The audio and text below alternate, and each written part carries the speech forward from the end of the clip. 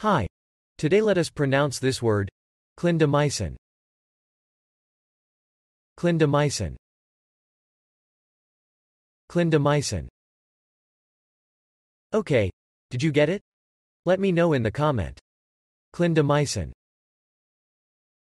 I create more videos on how to pronounce English terms.